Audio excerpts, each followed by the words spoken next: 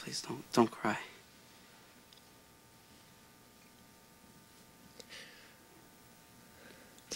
How come there's so many boxes in your room? Cory.